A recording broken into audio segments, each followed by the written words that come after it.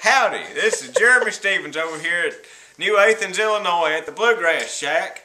I got my Deering New Generation Deluxe Banjo here, 2010 model. Got the the uh, white and the yellow inlay patterns and mother of pearl there and uh, it's a mahogany banjo. You can see the back of it there.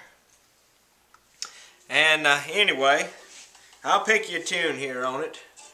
I can get the tag away if I don't get in my way. How about the, the dear old Dixie, okay?